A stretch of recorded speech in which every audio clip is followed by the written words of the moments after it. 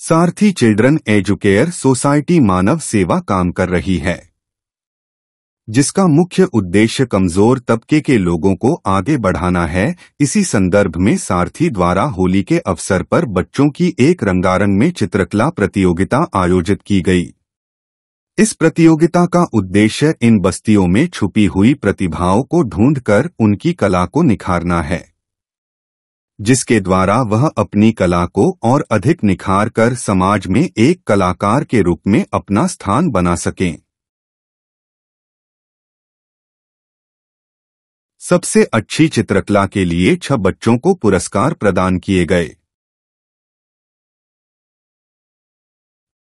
कार्यक्रम के अंत में सब बच्चों को अल्पाहार दिए गए।